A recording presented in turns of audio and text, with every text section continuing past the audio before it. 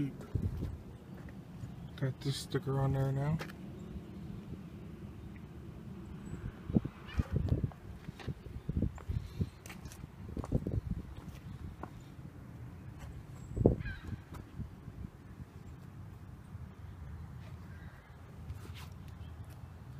And that one.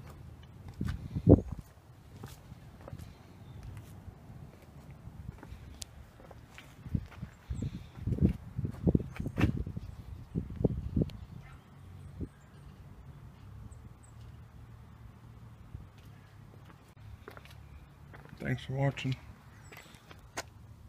Bye.